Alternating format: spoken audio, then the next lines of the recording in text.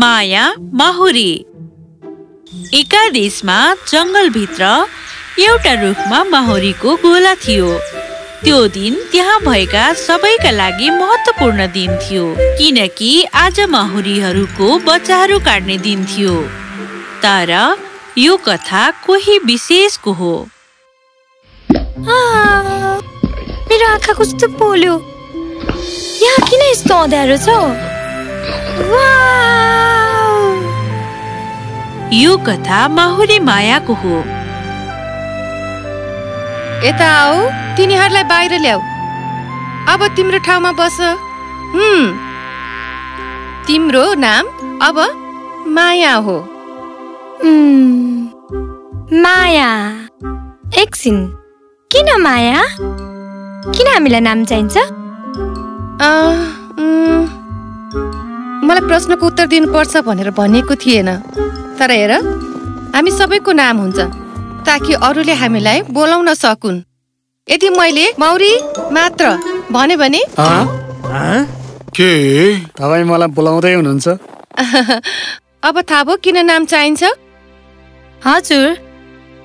किनकि हामी सबै उस्तै छौँ तर पनि फरक छौँ। तिमीले एकदम ठिक कुरा भन्यौ। यो एकदम सकारात्मक विचार हो माया। आऊ अब सबैजना मलाई बाहिर पछ्याऊ! मायालाई अचम्म लागिरहेको थियो। उसलाई चम्किलो सुनौलो बेलुनभित्र भएको जस्तै लागेको थियो। सबै माहुरीहरू आफ्ना काममा व्यस्त थिए। कोही माहुरीको चाका सफा गर्दै थिए भने कोही हिरा जस्तै देखिने भित्र पराग खसाल्दै थिए। कोही त्यत्तिकै लाइनमा हिँड्दै थिए। हुन्छ अब तिमीहरू सबैलाई काम दिइनेछ। भित्ता सफा गर्नेहरूले सफा गर्नेछन्। त्यसपछि हामीहरू सङ्कलन गर्ने मौरी काम गर्ने मौरीहरू हुनेछन्। हुन्छ? काम किन गर्नुपर्छ? तिमी कस्तो खालको माउरी हो? माउरीहरूले प्रश्न सोध्दैनन्। ओहो त्यस्तो रुखो नौ जुलियन। बिचरा ऊ सानो बच्चा छ। माया हामीले काम गर्नुपर्छ। किनकि काम गरेनौँ भने हामी सबै अलमलिने छौँ र काम नलाग्ने हुनेछौँ। यदि सफा गर्नेले सफा गरेन भने चाको फोहोर हुन्छ। यदि सङ्कलक मौरीले फुलको रस ल्याएन भने? फुलको रस के हो? अँ मह फुलको रसहरूबाट बनाइन्छ। त्यहाँ हेर त। तिमीले देख्यौ? तिनीहरू सङ्कलक मौरीहरू हुन्। तिनीहरूले फुलहरूबाट रस ल्याउँछन् अनि त्यसपछि श्रमिक मौरीहरूले त्यसबाट मह बनाउँछन्। सङ्कलक मौरीहरूले फुलबाट रस ल्याउँछन्? तर तिनीहरूले कसरी फुलको रस बोक्छन्? ओ सानो प्यारी बच्ची। अवश्य तिनीहरूको मह राख्ने पेटमा हामी सबैसँग हुन्छ। ए अहिले जहाँ मैले भोकाएको महसुस गरेको छु त्यहाँ हो? ओ त्यहाँ होइन। त्यो तिम्रो खाना राख्ने पेट हो। यदि तिमीले उसलाई मनोरञ्जन गरेर रहने हो भने हामी दिनभरि यहीँ अड्किने छौँ। किन हामी यहाँ दिनभरि उभिरहन सक्दैनौँ? दिनहरू बिते। सबै नयाँ बच्चाहरूलाई फरक कामहरू दियो। कसैले भित्रबाट माहुरीको चाका सफा गरे कसैले बाहिरका सुकेका पातहरू सफा गर्थे। कसैले फुलको रसहरू सङ्कलन गर्थ्यो त कसैले चाकालाई सिकारीहरूबाट बचाउँथे। माया बाहेक सबैको निश्चित ठाउँ थियो। उनले चाहिँ सधैँ सबै चिजहरूलाई फरक रूपले हेर्थिन्। जब सबैजनाले आ आफ्नो हातले भित्ता सफा गर्थे उनले भने भित्तामा फुक्थिन्। अनि काम सकियो भन्ने सोच्थिन् तिमी मलाई किन दुःख दिँदैछौ? ओ सबैजना मैले मेरो ठाउँ भेट्दिनँ भनेर चिन्तित छन्। त्यसैले म तपाईँ जसरी हिँड्न सक्छु कि भनेर प्रयास गर्दैछु। तर तिमीले एकदम गलत तरिकाले गर्दैछौ। तर तपाईँ तपाईँ हो र म म नै हुँ। म कसरी तपाईँ जसरी हिँड्न सक्छु र? ल भन्नुहोस् के तपाईँ यसरी हिँड्न सक्नुहुन्छ? ए अवश्य नै सकिहाल्छु नि। हेर ओ होइन म के गर्दैछु? तिमी मलाई अल्मल्याउँदैछौ।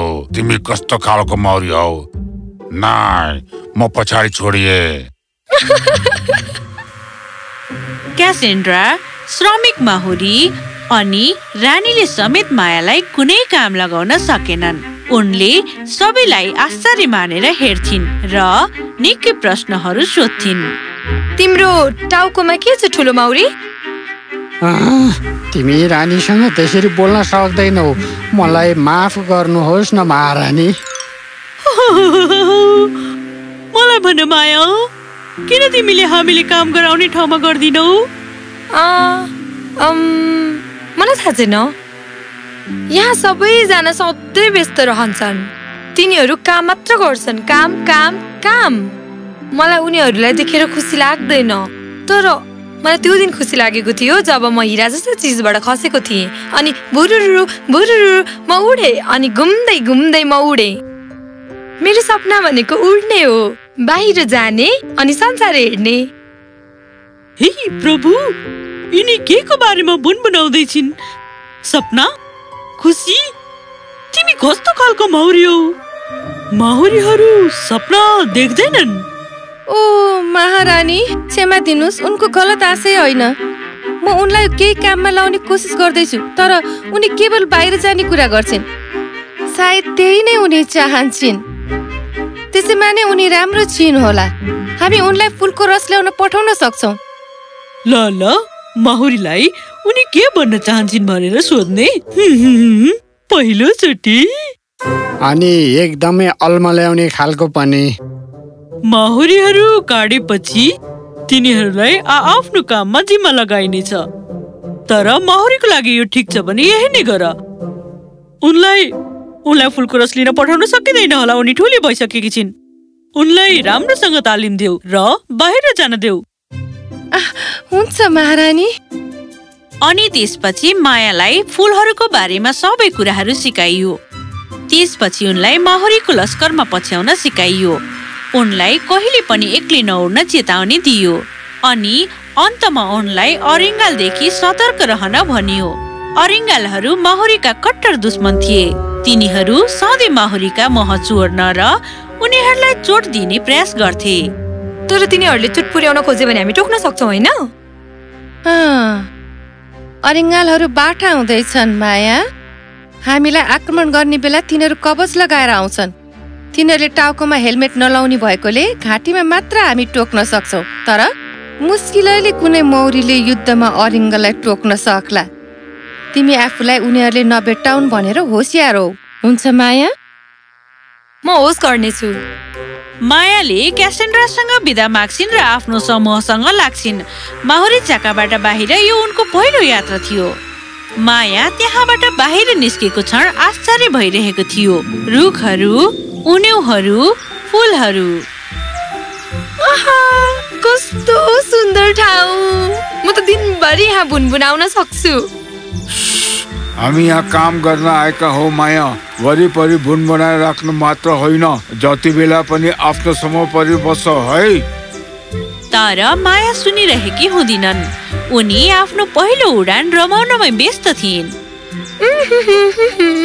ओ, त्यो के हो? कस्तो चम्किलो। ओ मलाई माफ गर यहाँ कोही छ भनेर मलाई थाहा थिएन। हाई म माया हुँ मौरी। अनि तिमी? ओ तिमी पनि एउटा माउरी जस्तै लाग्यो मलाई। अनि तिमी धेरै राम्री छौ मान्नै पर्छ मैले। ओ एकछिन के तिमी मेरो नक्कल गर्दैछौ? तिमी त कस्तो बदमास रहेछौ हँ? तिमीले मलाई चोट पुर्यायौ। तिमी निकै रुखो भइरहेछौ मसँग। ल ल ल हेर त हामीसँग के छ यहाँ? मानव मौरीको रूपमा बदलिएको। रूप रूप के? रूप बदलिएको।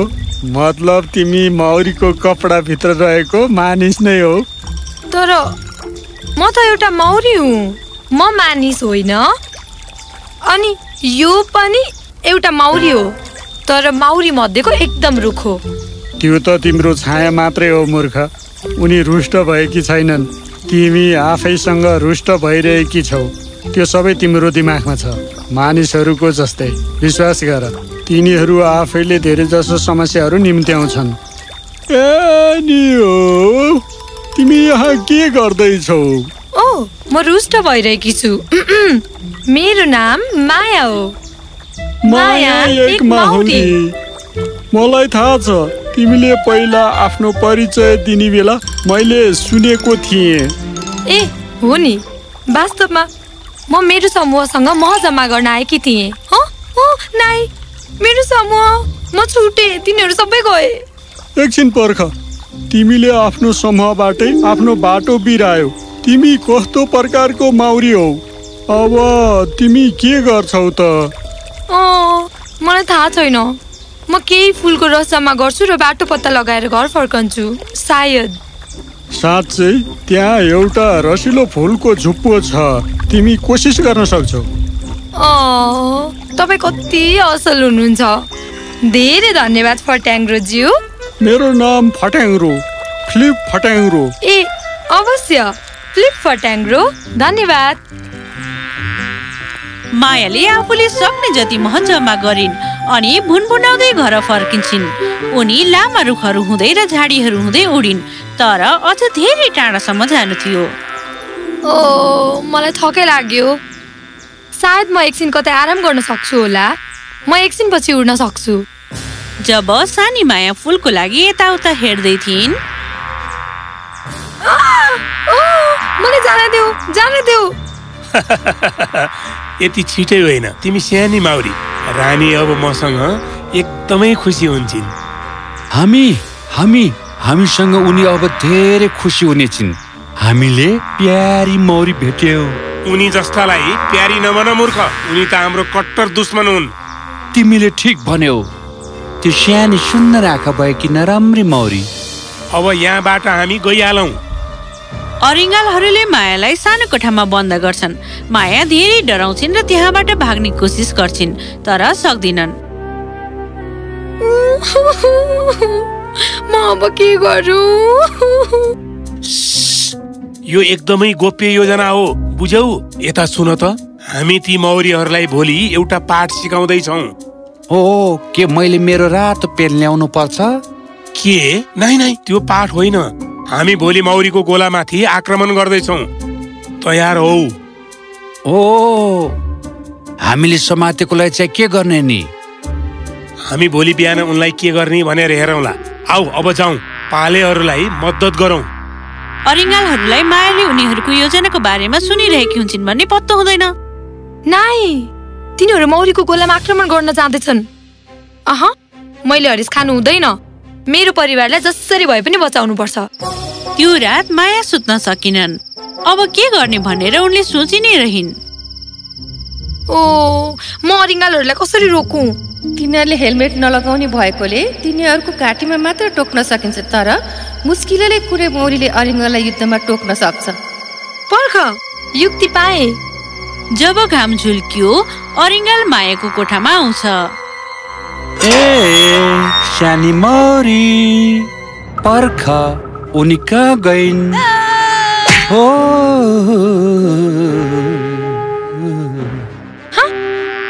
तिमीले मलाई नराम्री भनेको होइन ठिक्क पर्यो। रानीलाई सचेत गराउनु पर्छ माया आफूले सक्ने जति छिट्टो उठ्छिन् अनि आफ्नो गोलामा पुग्छिन् उनले रानीलाई सबै कुराहरू बताउँछिन्। ओ नाइ छिटो छिटो पहरेदारलाई सचेत गराऊ। हामी तयार भएर बस्नुपर्छ। गोला आक्रमणको लागि अब तयार छ। जब अरिङ्गाल आयो माहुरीहरूले पुरै तागतसँग आक्रमण गर्छन्। तिनीहरू माथिबाट उडेर अरिङ्गालको घाँटीमा ठोक्छन्। मायाले मौरीलाई राम्रोसँग सिकाएकी थिए सबै अरिङ्गालहरू अल्मलिन्छन् र रन्थन लिन्छन्। पछाडि फर्कौ फर्कौ। तिनीहरू एकैछिनमा भाग्छन्। ए हामीले जित्यौँ।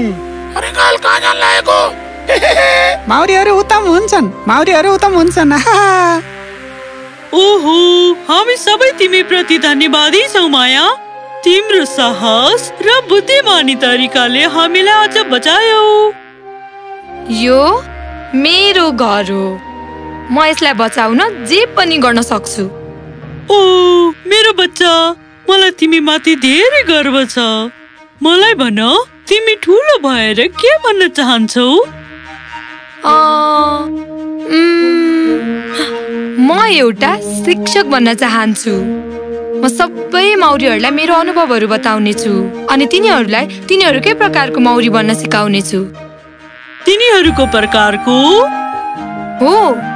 सबैजनाले मलाई सोधिराख्नुहुन्छ तिमी कस्तो प्रकारको माउरी हौ। तर म मेरो प्रकारको माउरी हुँ अनि हामी सबै त्यस्तै छौँ। म पनि मेरै प्रकारको मौरी बन्न चाहन्छु। तिम्रो प्रकारको मौरी दिक्क लाग्दो हुन्छ। मेरो प्रकारको मौरी बन। हेर माया तिमी पक्कै राम्रो शिक्षक हौ। अनि तिमीलाई फेरि पाएकोमा हामी धेरै खुसी छौँ।